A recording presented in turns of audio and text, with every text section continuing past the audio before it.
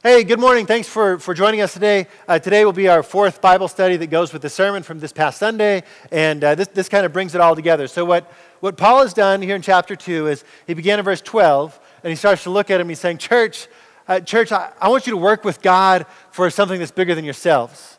And, and when you work with God, the second thing we talked about is he said, Stop, stop grumbling and disputing. Or, or, or the way I said it, work with God first not only work with God, but also, second, stop working against yourselves or against each other. Um, stop grumbling and disputing. Third, today we're going to hear this. Uh, together, together we're unstoppable. So uh, I'm going to read all of the text, and what I want you to listen for is at the end, Paul says, even if it costs me my life, I'm going to rejoice.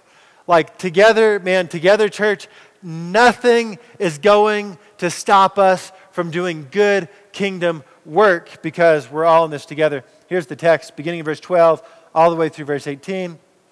Therefore, my beloved, as you've always obeyed, so now, not only as in my presence, but also in my absence, work out your salvation with fear and trembling, because it is God who works in you, both to will and to work for his good pleasure.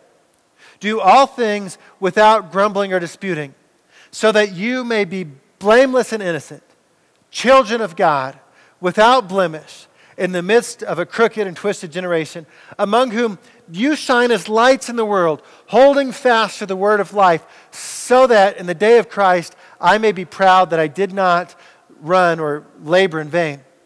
Verse 17, here's today, together we're unstoppable.